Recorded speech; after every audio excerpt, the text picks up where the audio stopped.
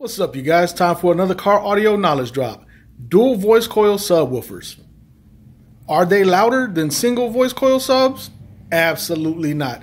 It makes no difference in sound and performance. Dual voice coil subwoofers are not louder. They don't handle more power. They don't produce more bass. They don't hit differently. They don't sound differently.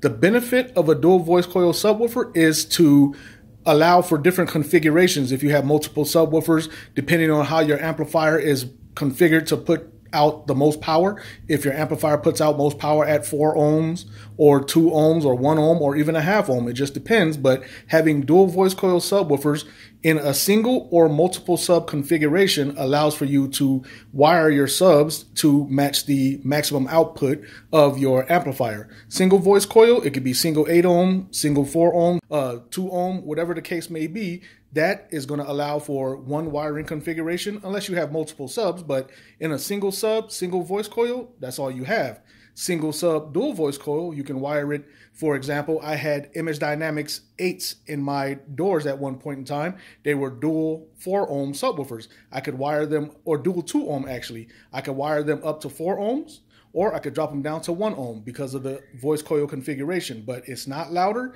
doesn't handle more power, doesn't sound any better or worse than a single voice coil sub.